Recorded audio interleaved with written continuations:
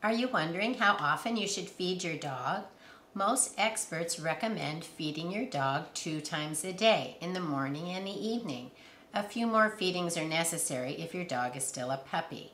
Sometimes we need to teach our pets about mealtime. We need to teach them that that is when meals are going to be offered. If you've recently adopted a dog, it may be nervous about being in a new home. Maybe it's never been on a schedule, and you need to teach it what to expect in your home.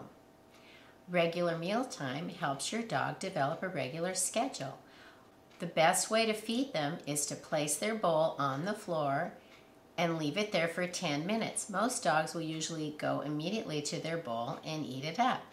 But some dogs are shy or they just need to learn that that's when mealtime is.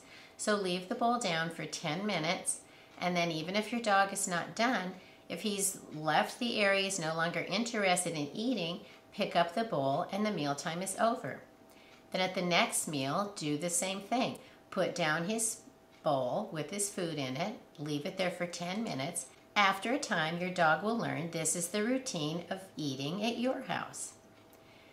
One of the benefits of teaching your dog when is mealtime is then you can take him out for his walk and he learns to pee and poop on schedule as well. Dogs who eat on a routine schedule tend to poop on a routine schedule, and that can be real convenient, especially if you need to leave your dog when you go out for the day. If your dog is going to be staying at home all day, you don't want him picking away at food and not knowing when is mealtime and when is potty time. Teaching your dog about routine helps his body get into a rhythm, and the routine also helps you monitor your pet.